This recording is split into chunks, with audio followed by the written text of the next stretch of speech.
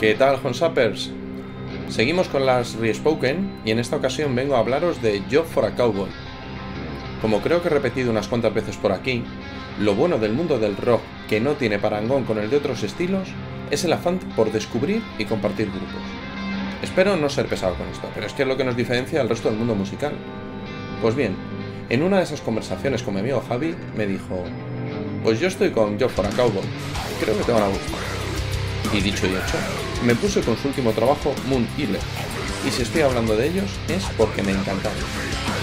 Yo for a Cowboy son una banda norteamericana, de Arizona para ser exactos, formada en 2002 y que fusiona el metal progresivo con el hardcore y el death. Evidentemente no esperéis algo.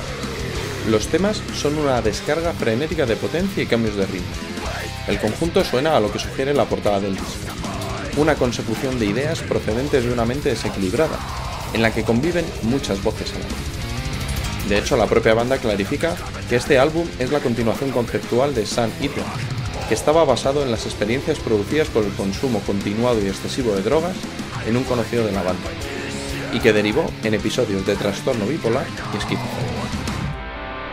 Volviendo al tema estrictamente musical, con independencia de los subgéneros que tocan, todo el disco tiene un halo experimental, con un protagonismo muy enriquecedor del bajo, que va marcando sus líneas dentro de la armonía, y la voz de John Davy, que personifica a la perfección esa pluralidad de voces con un manejo del gutural en sus distintas técnicas.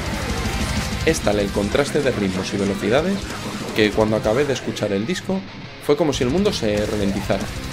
Y es que yo for Cowboy dan mucha, mucha trama. Soy David García y esto es Holstaff Podcast.